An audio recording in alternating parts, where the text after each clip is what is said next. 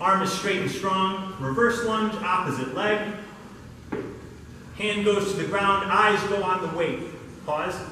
If he comes back up into the lunge, the eyes go forward. What do we know if we're staring at a weight? There's no fucking chance it's over your head. So the eyes don't change position until your hand tracks for the floor. Good. He's here. If he needs to, he can move his knee out. If he doesn't, he doesn't. Swing the leg through, stabilize. Have a straight, strong pillar from ceiling to floor. Moves himself slowly and with control down. Now, brace. So right here is not a reset. If the arm bends here, the lift is effectively over if it's heavy.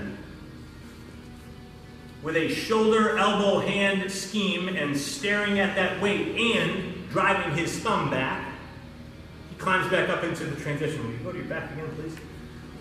So watch, simultaneously, eyes stare, arm throws, thumb turns back.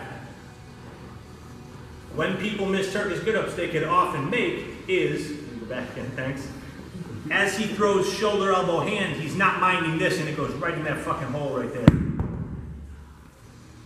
So, stare at the weight, wind your thumb back, and brace again in the transitions. Thank you.